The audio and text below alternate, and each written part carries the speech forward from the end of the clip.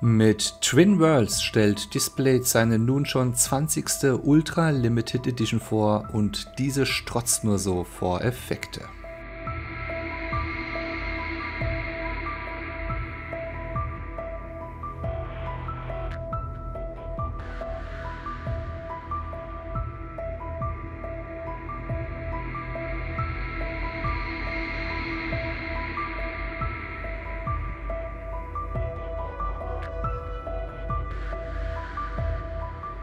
300 Exemplare werden hergestellt, als spezielle Features wird es silbernen Glitter, holographische sowie Glow-in-the-Dark-Effekte geben.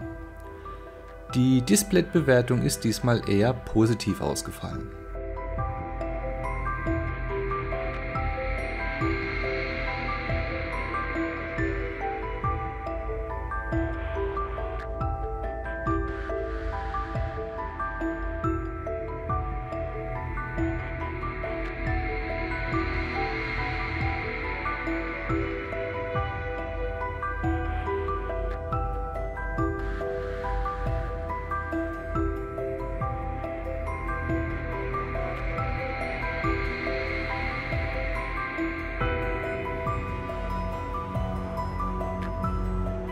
Wie schon bei Stormcaller Raging geizt auch dieses Display nicht mit holographischen Effekten.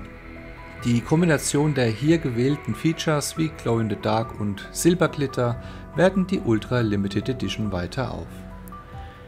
Die Darstellung der Drachen sowie die im Hintergrund dargestellte Kreisfläche, welches als verbindendes Element beider Seiten dient, sind ebenfalls sehr gut gelungen.